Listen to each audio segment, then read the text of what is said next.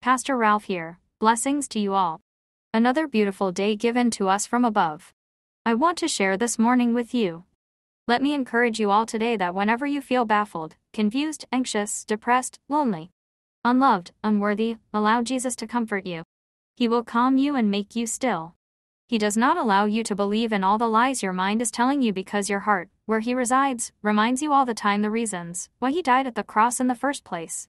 May God always bless you and may you all go through life with Jesus Christ in your life.